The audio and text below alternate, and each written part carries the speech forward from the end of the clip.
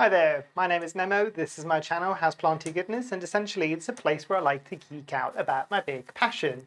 You might be able to see some of it behind me, it's tropical houseplants.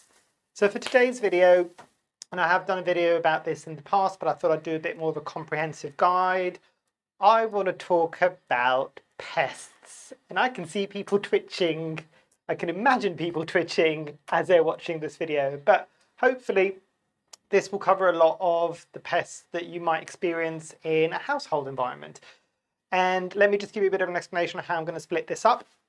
I'm going to do some general info and some kind of my top tips before we look at specific pests individually and talk about what I have found has worked for some of these things and also I'll talk about some of the methods that maybe I've tried and haven't worked or that I'm aware of generally. So I've got my list in front of me. I will be referring to it throughout the video, but hopefully I'll bring up things to show you as well. First thing I was going to say is, especially if you're new to this, don't panic. Even if you've been at this for a while, I still know people two, three years down the line, they still panic. I know it's easy for me to say don't panic, but the longer you do this, the more you realize that pests happen pests happen at different stages of the year as well. And pests will continue to happen because if you think about it, these plants, when they're out in nature, which is obviously their natural habitat, there would be other bugs there to deal with some of these pests.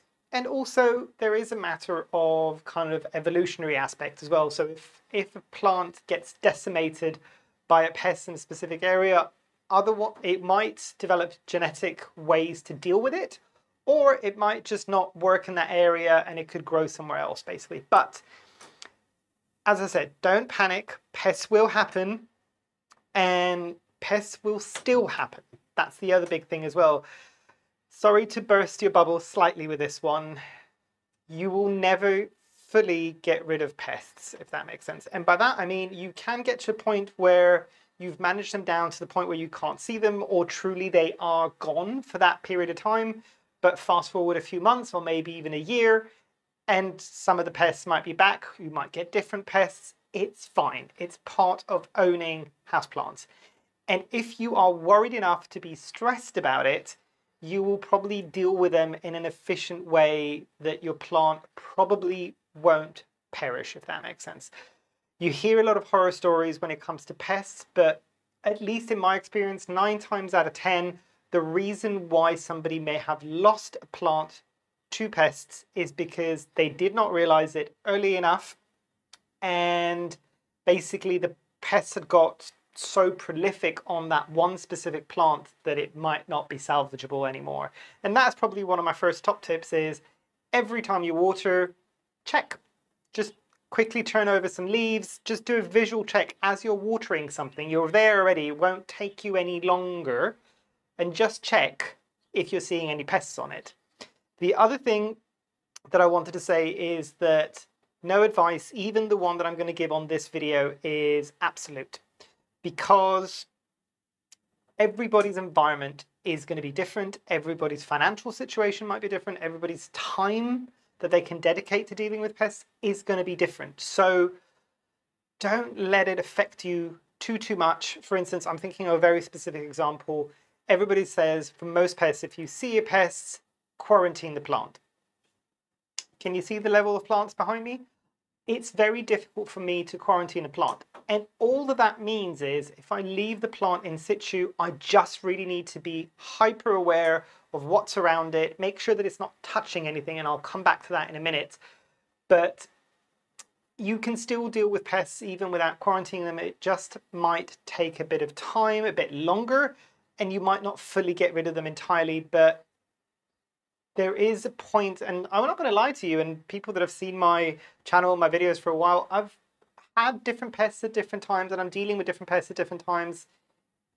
It's just standard with having houseplants, essentially. The other thing I was going to say, and this I can actually bring up some examples, is if you want to get a few bits and bobs to deal with pests, and I'm talking more less liquids, and I'll come on to liquids when we talk about individual pests, but more kind of tools. And you don't have to get this. If your financial situation doesn't allow you to get this, you don't have to do this. There's other ways around not using some of these materials, basically. So first thing is get something like a spray bottle. And the one thing I will say about these types of spray bottles with the trigger is just have a look online and see other videos from people as well. I actually found this specific one from Amazon from a suggestion from another YouTuber because the trigger doesn't get too tiring after a while and it's a kind of a robust sprayer. It's a bit more expensive. And again, I'm going to talk about English prices here. If an average cheapish sprayer on Amazon might be three or four pounds, this was, I think, eight or nine. But to be fair, it's lasted a good four years and it's a comfortable one. But generally with this one, you can get a bit tired depending on how much you need to spray your plants. I do have a better option. Again, it's a similar price point as well, so it is a tiny bit more expensive. As I said, you don't have to get any of these. Something like these types of sprayers, which are meant for the garden, because what you can do is you can put the liquid in here, you can pump it up. It basically creates a different pressure in the sprayer itself. And then you've got a trigger that you can either pull down and hold down, which is easier than having to like trigger pull all the time. Or this one also has a little knob that you can kind of touch down and it will keep it down and all you need to do is just spray then. You don't even need to hold it down. Much, much better in my opinion, especially if you've got a larger collection. If you've only got a couple of plants, this probably isn't worth the investment. You can probably go with something like a trigger spray. Even if you don't, and this is the point, if you can't afford any of this, what you can do is reuse. So something like a spray um, cleaner obviously make sure that you're rinsing it out properly and you're cleaning it from all the chemicals. And I would still say leave it for a day and then do the rinse again and leave it for a bit longer just to make sure that all of those chemicals have come out. And then just use that as a, as a spray to put whatever liquids it is that you need to deal with the different pests. The other thing I was going to mention, and this is a really cool thing that I learned from Jane Perrone and her podcast on the Ledge podcast. I was recently on the podcast as well, so if you want to hear that, that's I'm going to have that in the description down below. But something like this, which essentially is a jeweler's loupe, I think it's called.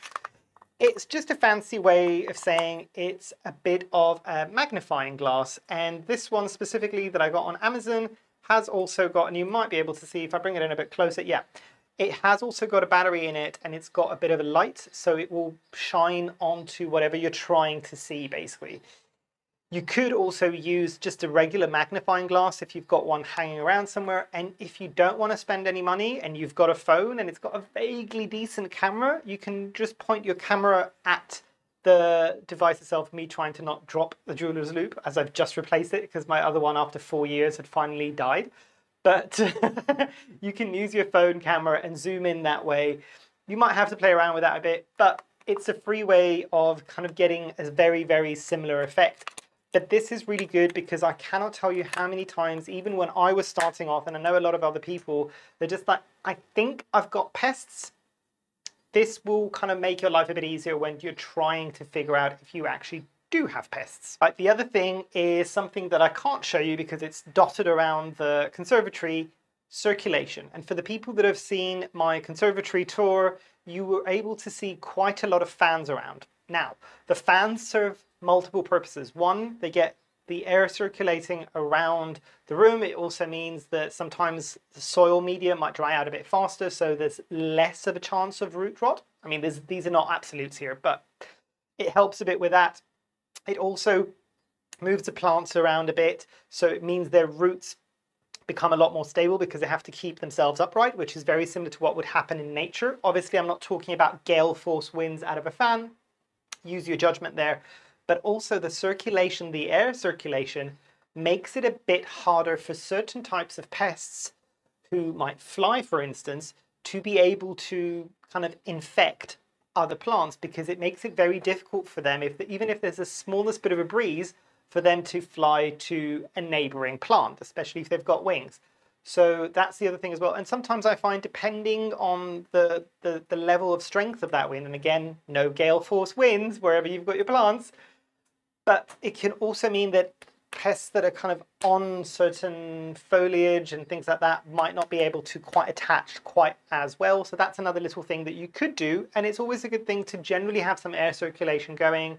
especially in an environment like this where the humidity is quite high. And I'm thinking a lot of the kind of greenhouse cabinets from IKEA where a lot of people have. I think most people are aware and they're putting fans in there, but there's a good reason for that. If you don't put a fan and it's high humidity all the time, you will get things like mildew and other kind of more fungal types of infection because that air circulation kind of prevents them a bit from occurring. It doesn't stop them altogether, but it does prevent them a bit from occurring. So air circulation is a big thing. The other thing to bear in mind is proximity. So this is something that some people talk about, and it's the fact that if you've got a lot of plants that are touching close to each other, it's a lot easier for certain types of pests to move between the plants. It creates a bit of a pathway to move from one plant to the other plant, and then they can spread quite easily that way. This is a lot of the times why people say quarantine your plants, because if you have it far away from something else, even if it's a flying pest, and there are certain ones that can still get around rooms, and I'll get to that at the very end, but um, you want to make that as difficult for them to move over as possible. As I said, I can't, I don't always have the luxury of being able to quarantine plants in my space because I've got so many and they're all over the place. But something to bear in mind that if things are really close to each other, mainly for the crawling type pests rather than the flying type pests, because the flying type pests could fly somewhere even if they're not close to each other. So just bear in mind, even if you just create a bit of a gap, that's fine. Another thing to bear in mind is the speed that these things happen. Even if you look at some of these pests, they don't move, a lot of them don't move that fast. So just because your pet, your plants are touching today, and they might be for two or three days, it doesn't mean that all of a sudden every single one of your plants is going to get infected because they are rushing across all the different plants. It takes a while for them to kind of move around between plants. I mean, still bear, bear that in mind, but don't panic too much that you need to do it right now. If it needs to happen in a couple of hours or a day, that's still going to be okay. Then you need to think about things like seasons. And now, seasons, obviously, we're at least in the kind of northern hemisphere, we're coming into spring, summer now, which means it's pest season galore. And it means that most pests are really happy because they need certain temperatures to survive. However, there's a, a bit of a fallacy when people say that obviously spring summer is the main time for the pests that people assume when they're first starting off that you're not going to get any pests in the winter or the autumn time. Guess what? They still happen because these plants and their pests that are on them are not outside where it's cold cold. They're inside where it's a bit warmer. So you can still get some pests not all of them and we can touch on these as we look at the pests individually but yeah, you'll still probably get some type of pest potentially even in the months when you're not expecting them. And the other big thing I want to just kind of wrap up this intro section, I'm very aware that this is kind of a very long intro section, but hopefully these are more generic tips and tricks. And this is probably going to be a long video just to warn you. The other thing you need to bear in mind is things like tendencies of certain plants. And I do mention this in my review series, specifically about each plant that I review and I'll put a link up at the top there so if you haven't seen the review series you can check it out. But essentially there are certain plants, both species and genuses, that tend to have more of a propensity to a certain type of pest. And the easiest example that I can think of is things like alocasias. Spider mites love them, basically. So one of these things that people always kind of sit there thinking is, I'm doing something right. I've never got a, spider mite on my alocasia, it's never going to happen. A better way to maybe think about that is I've not had a spider mite on my alocasia yet, and it might happen at some point in the future because generally speaking, spider mites will like alocasias. But again, there's a lot of people when they speak about specific plants, they will generally talk about certain pest pressures, at least that they've experienced. And there's usually a bit of consistency around there. Another one that I'm thinking of going really, really specific is the Philodendron verrucosum and spider mites. Uh, it's a spider mite magnet. But yeah, and things like Hoyas have got more of a propensity to have mealybugs because they've got all the nooks and crannies where they like to hide. So things like that, just it's a good idea when you're first getting a plant, have a look at what types of pests you might be expecting to see on that plant and just keep an eye out for them as well. Keep an eye out for most pests on most plants, but specific ones, if you know that there's people that are specifically talking that this plant has a predisposition to have this type of pest, obviously keep your eye out for those types of pests. But yeah, I think that's the general bit that I wanted to talk about. Let's dive into individual pests and the order that I'm going to do this in, and hopefully I'll add some chapters to the bottom of this very long video, which I'm envisioning is going to be quite a long video. I'll talk about fungus gnats first, and fungus gnats are the things that look a bit like um, fruit flies. That people always confuse them with fruit flies. They are slightly different beasts, essentially. Uh, then I'll talk about spider mites, mealy mealybugs. A lot of the stuff that I'm going to say about mealybugs could also apply to scale. I have never, touch wood, yet experienced scale, so I don't know from personal experience what would work particularly well for it if you do have experience with scale and you want to share your experiences with what you do and what has worked for you, drop it down below. Then I will talk about things like whiteflies, and I don't think a lot of people go into too much detail with whitefly, but I'm struggling at the moment with whitefly in my environment, so I can talk a bit more about that at the moment. And then I'll finish off with everybody's worst pest, thrips. But yeah, let's dive into the first one. So moving on to fungus gnats. And as I've mentioned at the beginning of the video, this is the one pest that people kind of wrongfully call a fruit fly. It's not really a fruit fly. It is a fungus gnat. It is slightly different. Again, have a look on Google. Google is free. And you'll see that there is a bit of a difference between what these pests look like. Now, what happens with the fungus gnats is they will live in the top few centimeters of soil and generally tends to be from soil. I've not really had a lot of problems with fungus gnats with any of the plants that I've moved into pon. I think it's the same for leca. Even ones with water reservoirs, I don't tend to find that they get fungus gnats as often. Not entirely impossible, I don't think, but as often. So bear in mind that they will live in that top few centimeters of the soil, and that's usually where they will lay their eggs the thing that you might see about them is they will fly in your face and they will fly up your nose. It's because they're attracted to the warmth. That's why, and they can be quite irritating. The thing to remember about fungus gnats, however, is yes, some of the larvae, some of the kind of eggs that are in the soil could slightly damage the roots. And I've had a big infestation of fungus gnats when I was first starting off and I didn't know how to treat them. But it never really caused too much of an issue with most of my plants. So generally speaking, fungus gnats are more annoying to us than they are problematic to the plant. So bear that in mind as well. But again, I know that it, it can be irritating for people. That's why I'm including them in here. And I'm holding a jar of something that's empty. This was actually a mealybug killer, but the one of the methods that I want to talk about comes in very similar jars, at least it has come in my experience, and that is nematodes, so beneficial nematodes. And essentially, it looks a bit like wet uh, cornstarch or corn flour, basically. And it's it's a really interesting kind of texture, and there's loads of these little beneficial nematodes. And I think under a microscope, if I'm not mistaken, they look like little worms. And eventually, what they do, especially with the eggs and the larvae of the fungus gnats that are in the soil, they act like little worms. They go into these developing pests and they eat them from the inside out. So it's a bit gruesome, but it does work like a charm, basically, because essentially what it's doing is it's controlling it before the fungus gnats even emerge as adults.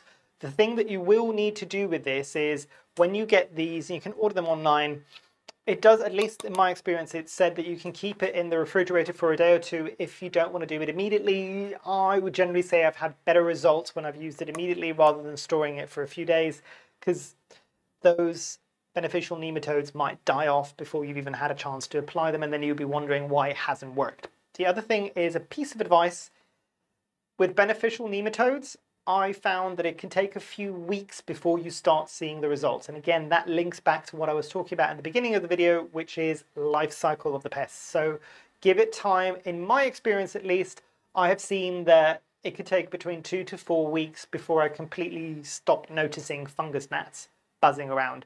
And what I used to do when I had more plants in soil is I used to do a preemptive strike with nematodes at the beginning of the spring season. So anything that was just about to hatch out and start pestering me for the warmer months would get dealt with quite early. So something to bear in mind. The other thing to bear in mind with this, and this is something that you will generally see a lot of people using is, and I'm not going to unstick the, the backing of this, but this is, believe me, you can see the yellow. These are yellow sticky traps, and you can buy them on Amazon, you can buy them in most places, where you just stick it in the soil media and take off, obviously, the protective bit.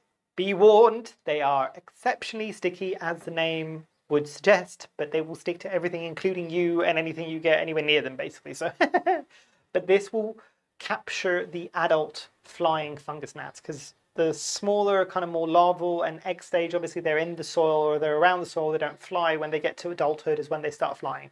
So this will get the adults because if you've put the beneficial nematodes into the soil, what will then happen is it will kill off the babies. But if you've still got other adults, they could also be creating more babies and putting in. Obviously, the nematodes might still be around and they might still kill it, but it's a good thing to do both.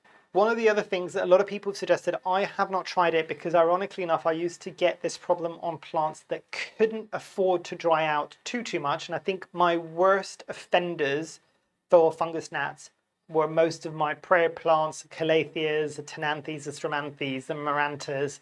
They were the ones that were really used to getting it.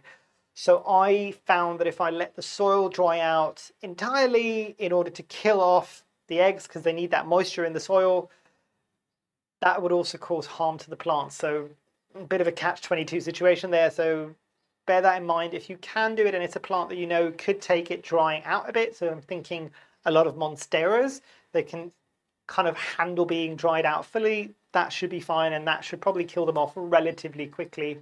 But again, if you've got a lot of them buzzing around and you've got loads of plants, the adults could then go and lay eggs again when you've watered in. But if you have a bit more of a dry cycle every time, it could kill off the eggs every time. But that is another kind of free way of dealing with them, essentially. One of the other things that I, again, have not tried is something called diatomaceous earth. And this is kind of like a powder, kind of crystalline structure, uh, at least from what I've seen. And think of it almost like kind of minuscule shards of glass, and you put them over the top of the soil so when the larval, the kind of not larvae emerge from the soil to go into kind of the top of the soil and eventually mature into adulthood, it basically rips them up. So it does kind of deal with them in that way. As I said, I've not tried it. I know some people have had good success with this, but I just I haven't had a chance to use it. If you have used diatomaceous earth and you've got some of your own experiences that you want to share, do drop a comment down below. I'm sure a lot of the people watching this would love to know this. And then a fun way of dealing with fungus gnats, and I'll try to lift this up because it's dripping and it's in a Lurpak container because that's where I'm keeping the water in.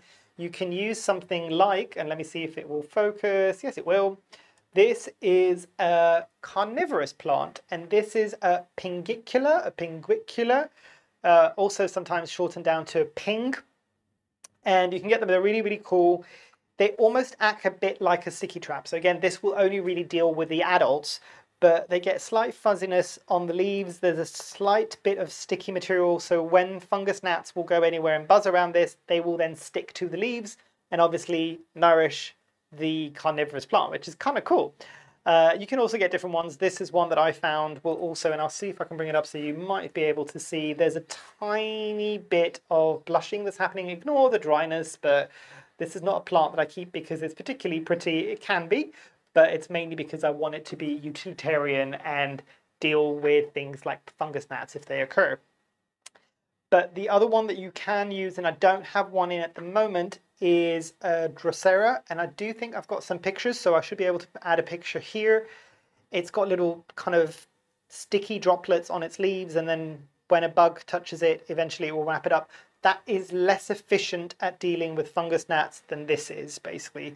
The one that you really don't want to use is the Venus flytrap, ironically enough.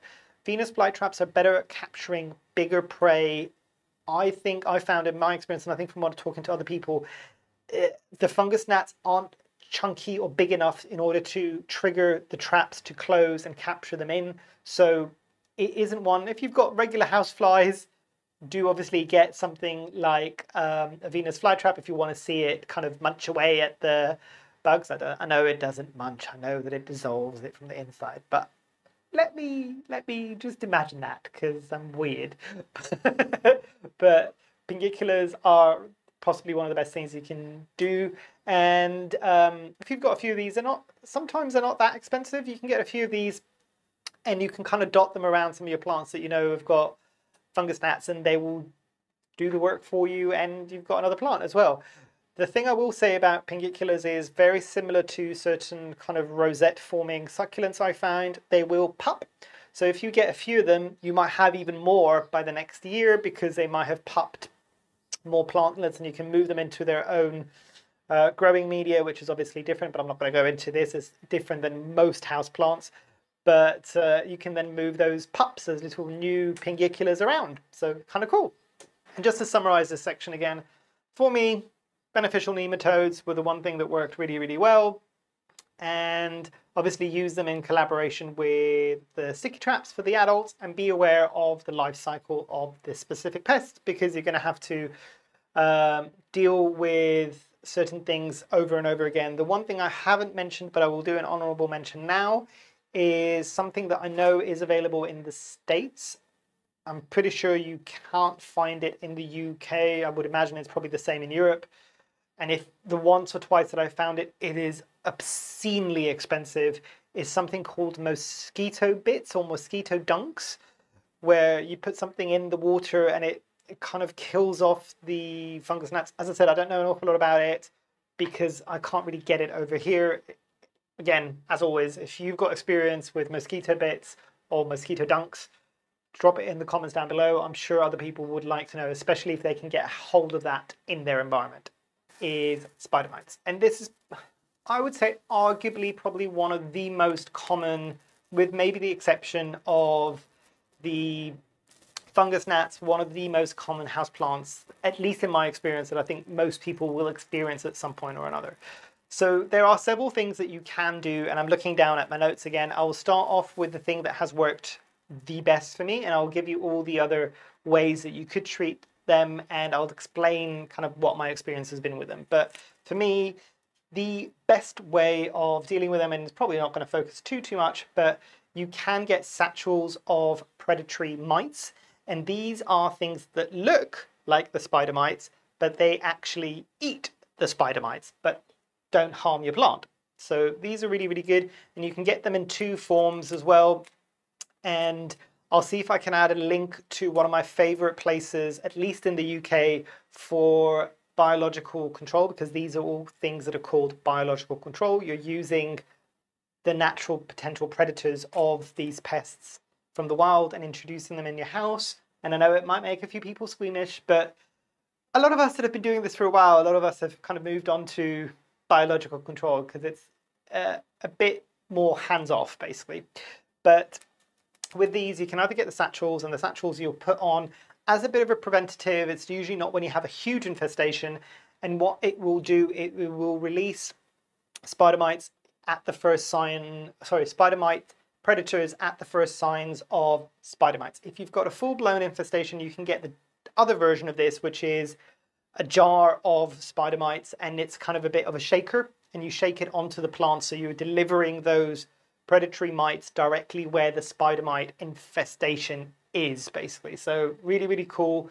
The one thing I will say, and this applies to all biological control, if you're using any form of spray, whether it's organic or whether or not it's systemic, to deal with pests, you need to give some time since the last time you sprayed your plants for any pest before you introduce biological control, because guess what?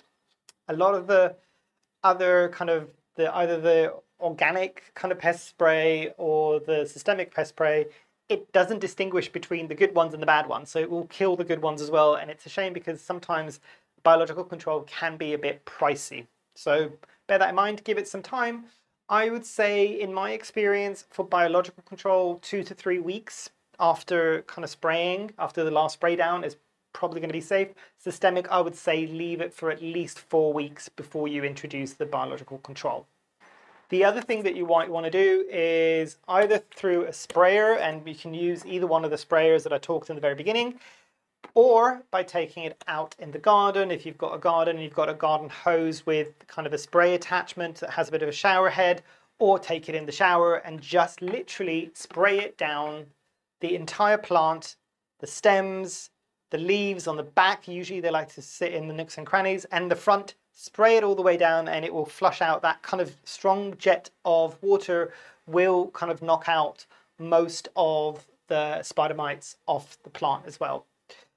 The thing to remember with that is obviously if you've got soil and you've just watered, you might want to cover the soil so you don't get that wet again and then you've got an issue with root rot. But yeah, I mean, it's spraying down the leaves will knock out most of these uh, pests.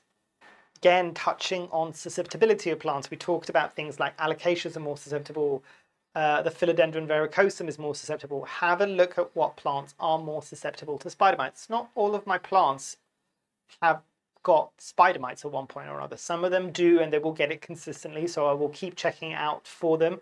Always, always, always, and this is where it really does come into its own, something like a jeweler's loupe or the camera on your phone or a magnifying glass will really come in quite handy because out of a lot of the pests, the spider mites are usually quite difficult to spot, at least at the early stages.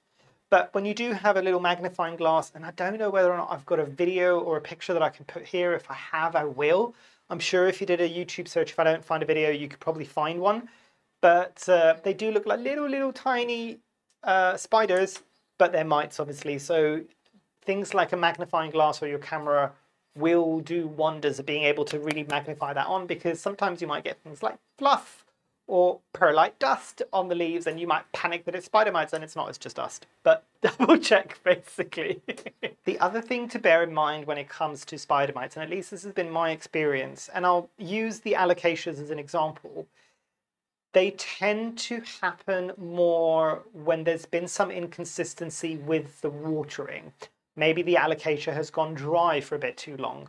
So generally speaking, spider mites don't like things that are particularly wet, especially if there's a high level of humidity. If you've got your plants in a very high level of humidity, not always, but at other times, you probably won't see spider mites. Spider mites will thrive in a slightly warmer and drier environment. And as I mentioned at the very beginning, Spider mites are one of those things that you might also see in the winter and autumn when you're not expecting to see pests. And the reason for that is because if you've got them in a regular household environment and you've got your heaters going at any given time, it's drying out the air and it's also warm enough for the spider mites. So it's a good environment for them to kind of attack your plants.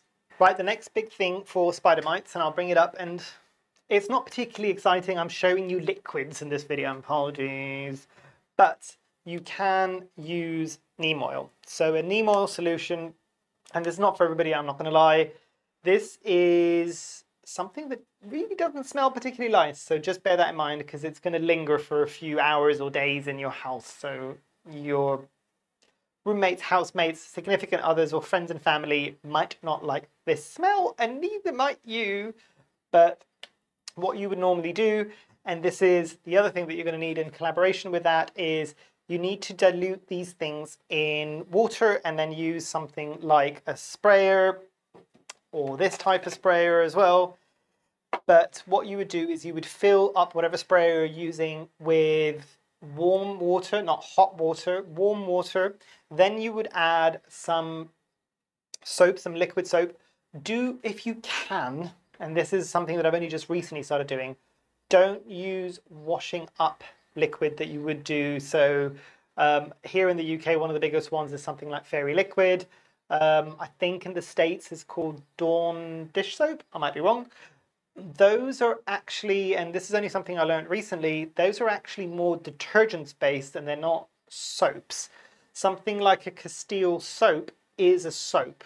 Or if you want to spend a bit more money, you can find in garden centres and online, you can find horticultural soap or soap that's okay for the garden, basically. Use that instead because it's nowhere near as harsh, but it will still do the job.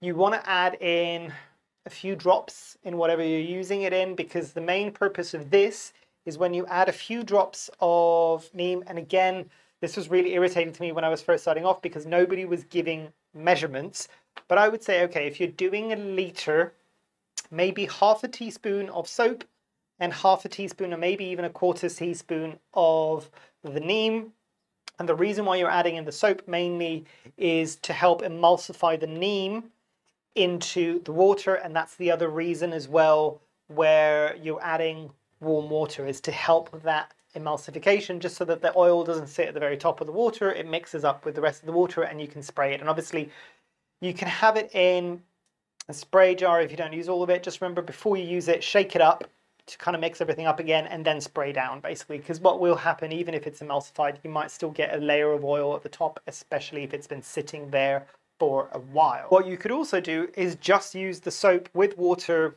and spray down your plants. If you don't want to use the neem oil if you don't want to buy any neem oil you could just do this as well. It does work in a similar way. So the soap yes it's helping with it um, emulsifying with the neem oil but it also the soap does create a different action where, if I'm not mistaken, it causes damage to the kind of outer shell of the bugs and ultimately it can kind of kill them off. So this is another one that you could just use the soap with the water in kind of similar quantities that I was talking about before and spray it down. You need to spray both the top side of the leaves and the bottom side of the leaves and the stems. And this pretty much applies to any form of spraying action for any of the pests basically.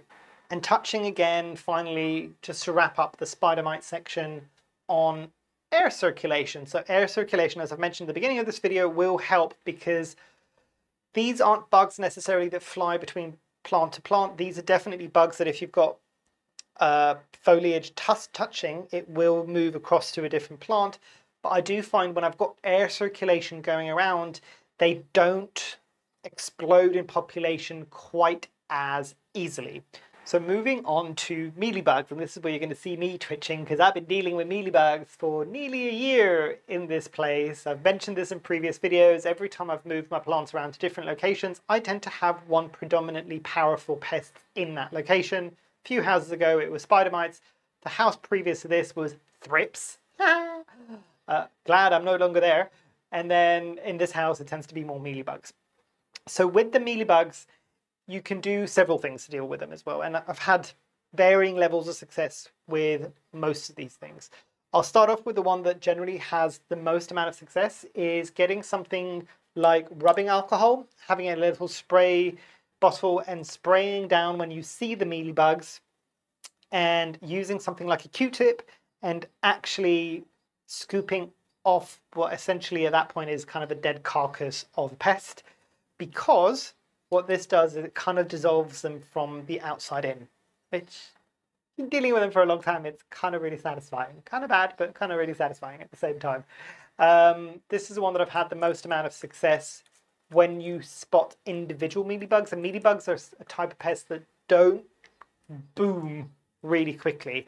I think one of the plants that tends to be a bit more predisposed to getting something like a mealybug is a lot of the citrus family if you're growing citrus indoors. Um, so bear that in mind. But the other thing I will say about mealybugs is you can get, and this is where the jar comes in again, you can get predatory biological control, so predatory insects for the mealybugs. Now, what this looks like, and I don't know whether or not this is going to focus, it might do if I kind of like move my face out of it, you can maybe see it a tiny bit.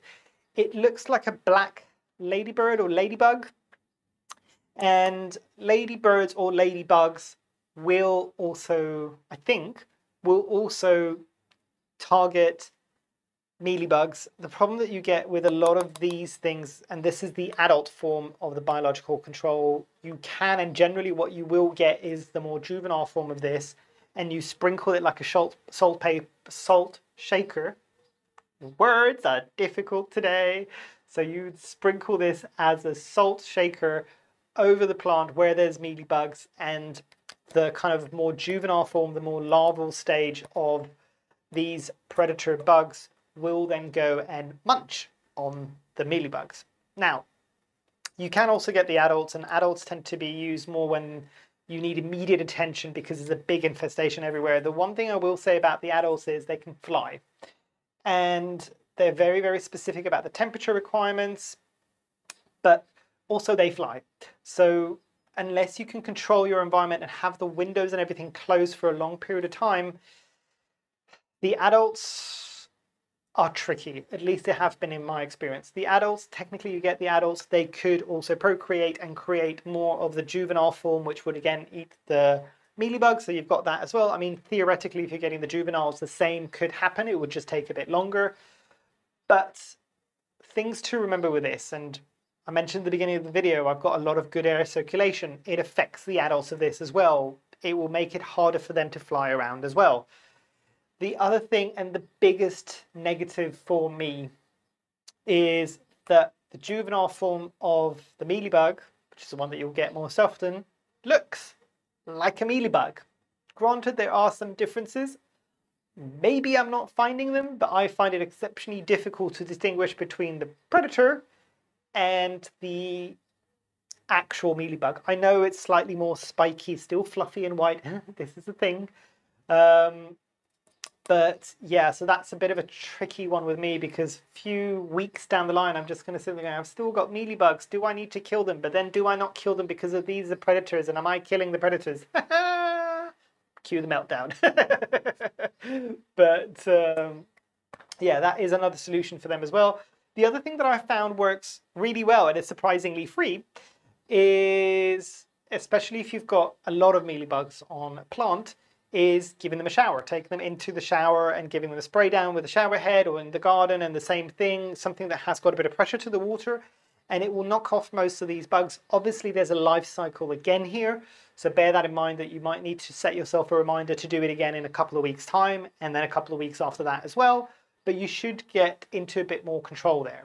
What you can also use, and I've done this and mixed success with this one, is with the Castile soap in the warm water solution and the spray, or the neem oil and the Castile soap in a warm water solution and spray. And you can also add a tiny bit of rubbing alcohol. I'm not sure that that does an awful lot when there's a small amount of rubbing alcohol in that much water and soap and oil, but I've seen it being said.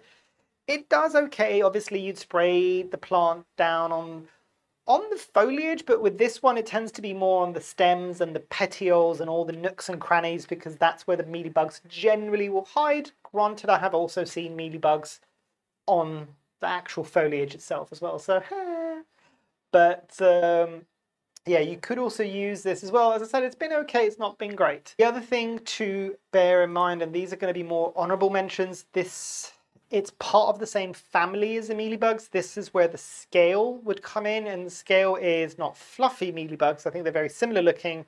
They look, they've got more of a, like a hard shell, and they will usually attach themselves to the stem or the petiole or the plant.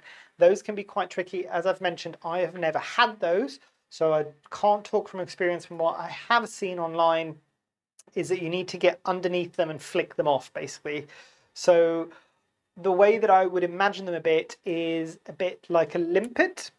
So what you get at the sea that's attached to the rock, you want to get underneath it and flick it off basically. So there is that because that hard shell does protect it from quite a few things.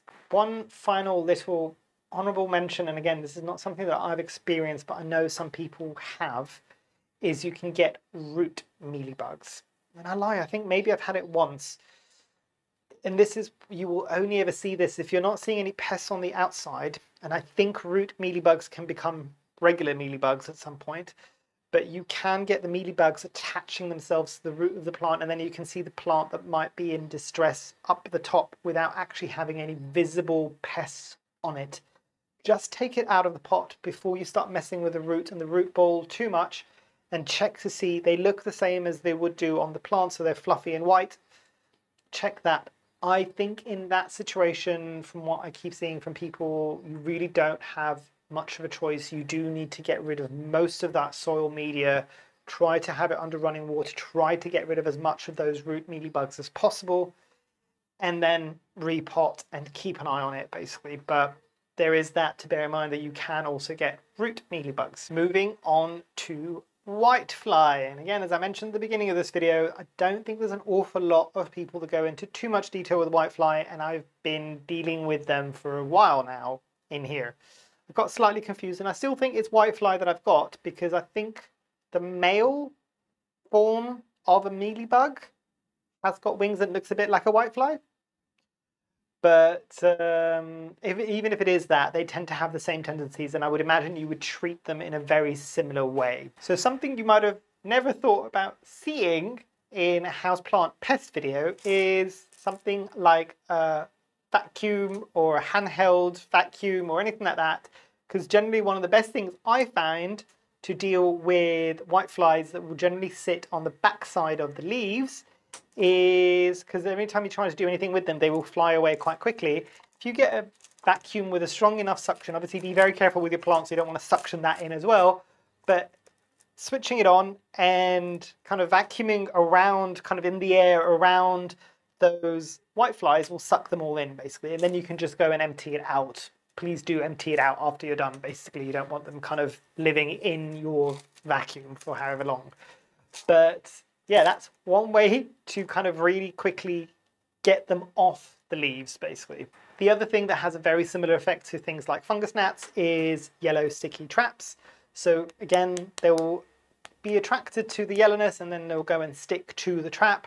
Obviously, because white flies, as the name might suggest, they fly around. So things like air circulation going around, I find is really beneficial because they can't spread quite as easily because they can't really fly that well against the wind current that you might have that's kind of moving um, air around wherever you've got your plants. The other thing that you can do is obviously the same as with the spider mites is a solution of warm water, neem oil and the Castile soap and spray down the leaves. I haven't had that great success with this one, but it is one of the things that people suggest that you do.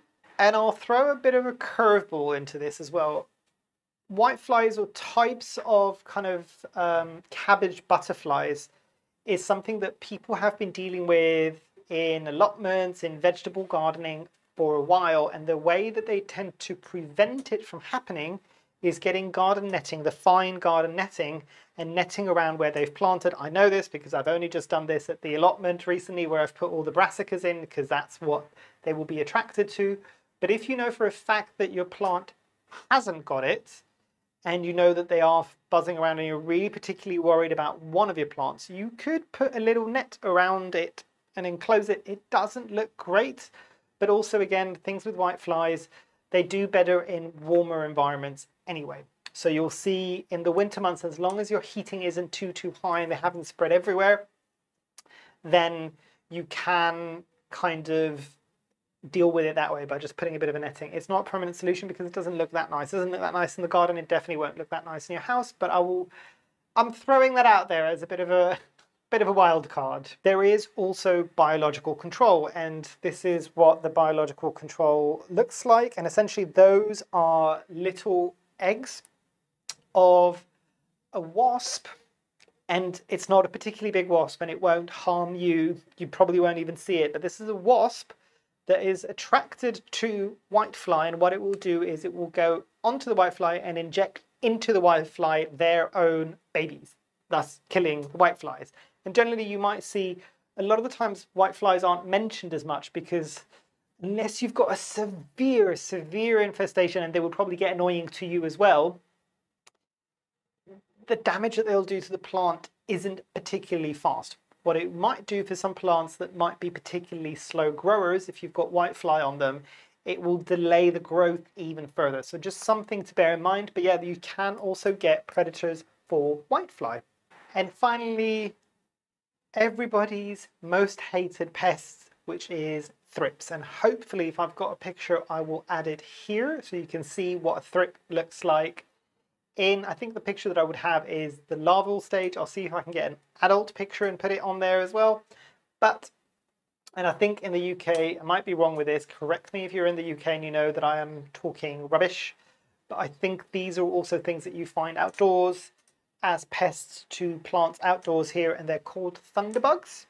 Might be wrong. But the adult uh, form of this is almost looks like a black line it is particularly irritating and I find it really annoying when I'm outside, especially if there's loads of them buzzing around. I've got dark hair, they look a bit like a, they're thicker than a strand of hair, but they can easily go into your hair. They won't harm you, but it still get, gives me the ick basically. So it's always like, ah, I need to jump in the shower and wash my hair off because just the thought of that just gives me the uh. uh. but yeah, thrips are the one thing that most people, even the most seasoned of uh, houseplant owners, will slightly kind of twitch at the thought of them because most of us have dealt with it. And if you haven't, I truly hope that you don't. Not to say that this isn't manageable and not to create panic. It can still be manageable. There are certain things that you can do to deal with thrips. I will tell you what has worked for me. It might not be to everybody's liking, but I will tell you what has worked for me. So the thing that has worked for me, and I've mentioned this on a previous video, is systemic bug spray. And I've got the concentrate because at some point when I was dealing with a big infestation with this, buying the bottles every time was getting really expensive. So I got concentrate. And in this one, in the UK at least, is called Provanto Bug Killer. This is a systemic spray. So that means several things. So you would need to apply it, spray it onto the plant.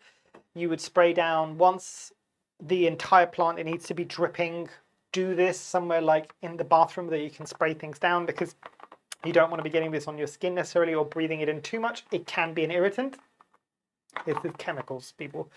But this, if I'm not mistaken with systemic, what it does happen is it kind of either gets incorporated into the plant through absorption or it kind of creates a bit of a layer on the outside and it stays there for a while and it basically harms the bugs that might be, the pests that basically might be trying to grow on the plant, specifically thrips. Basically, this will deal with other things as well. It says caterpillars, black fly, green fly, white fly, lily beetle. There's a few things that it will deal with. I've only really ever used this for thrips, and this is the one thing that has worked for me. Now, there's a few things to say about systemic sprays.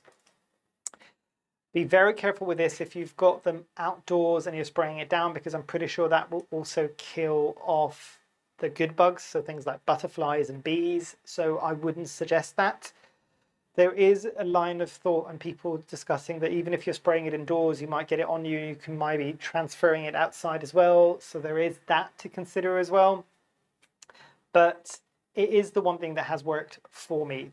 Be very, very diligent about reading on the life cycle of the thrips as well. So this is one that might catch you because you might stop seeing them for like a couple of weeks or even a month and just go, yay, I no longer have thrips. And then a couple of weeks later, they're back again. So this is one that I would normally, whatever method I'm using, will spray. We'll spray again in two weeks. We'll spray again two weeks after that. And if I'm really feeling extra, I might even spray two weeks after that as well. Now with anything like a systemic, this applies to most of the sprays, especially things that are not just water that I've mentioned throughout this video. Do a little test on the back of one of the leaves of the plant that you're going to spray down because some plants really don't like it on their leaves and it, you could damage the leaf itself as well. So it's a bit like if you're dyeing your hair, you do a strand test to see if there's going to be any issues basically. Very similar to that. But yeah, spray it down, let it dry, drip dry, and then ideally, and I've said that you can be a bit more flexible when it comes to things like isolating plants. This is the one thing that I will say if you can isolate, try to isolate. Um, if you've started to see it on multiple plants, it might be too late by that point to start isolating things because the adult form of this pest does fly and it does fly relatively well so it will travel between rooms as well. At least it has done in my experience so something to bear in mind. One of the other things that i have found can work this could be a bit more time consuming but if you've got a big plant and one that might not take to systemic sprays as well taking it into the shower and fully showering it down leaves stems petioles everything and doing that a few times, you might need to do it more times than you would be doing it with a traditional kind of bug spray.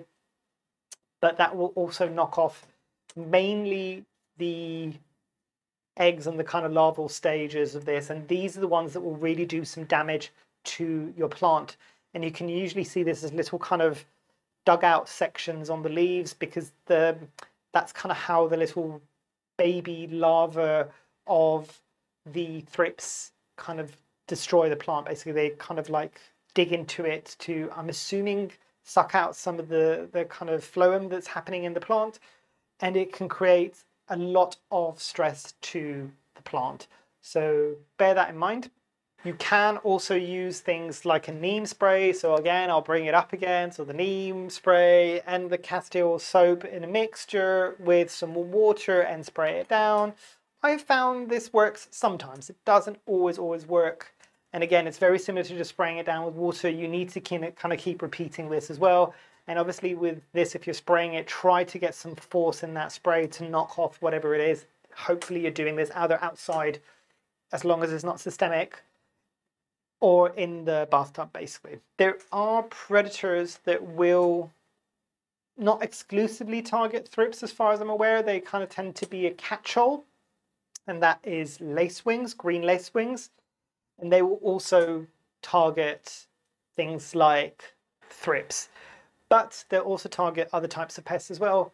Lacewings are ones that, out of all the beneficial insects, are ones that you probably will notice flying around potentially as adults because they are relatively substantial. They won't harm you in any way or form. I think they also look a bit cute because their leaves, um, the green on their leaves does look a bit like a lace, and the, the leaves are kind of the leaves, the wings. Ah, words are difficult today. Uh, the wings have got clear sections as well, almost like little windows. So it's kind of cute. But they will deal with that as well. But bear in mind, nothing holds true to what I was saying before. You need to give some time between kind of any form of chemical spray or organic spray onto the plants before you bring the beneficial insects because it will kill off the beneficial insects before they've had a chance to do anything. And wrapping up what is an exceptionally long video, I'm looking at this and this might be one of my longest videos. If you have stayed until the very end, thank you. If you haven't, and you probably won't see this, but through the ether, thanks for staying for as long as you did. This is a very long video, especially for one that I'm not showing you that many plants and I'm just talking about pests. But with the kind of concluding thoughts that I want to say with this is just a few things to remember again. Don't panic. Pests happen. Pests will happen again. Pests will keep happening. You will never get rid of them entirely. You can manage the pests. Some pests will not harm your plants, but they might be irritating to you. There are always biological forms of control that you can use. It will be trial and error for most people. So I've talked about a whole host of different things on here. What worked for me in my environment with my care might not work for you in your environment and your care. Don't spend an awful lot of money buying all the extra bits and bobs. There are free versions if you want to try those first. And generally, just again, don't try to panic too much with this. I keep saying this again because this is the one thing that I keep seeing, and I went through this as well in the beginning as well. I cannot tell you when I was first starting off, I used to have nightmares about pests in the summer where it was obviously playing on my mind too much. You'll get there eventually, but it's it's a natural part of having houseplants. And it would be as well, even if they were outside as well in their natural environments. Try to enjoy it Try to not let it get you down too much. And good luck with the battle. But yeah, hopefully you've enjoyed. Hopefully I shall see you here soon. If you've got any comments you would like to leave, as always, please do down below. And yeah, have a great rest of the day. Thanks. Bye.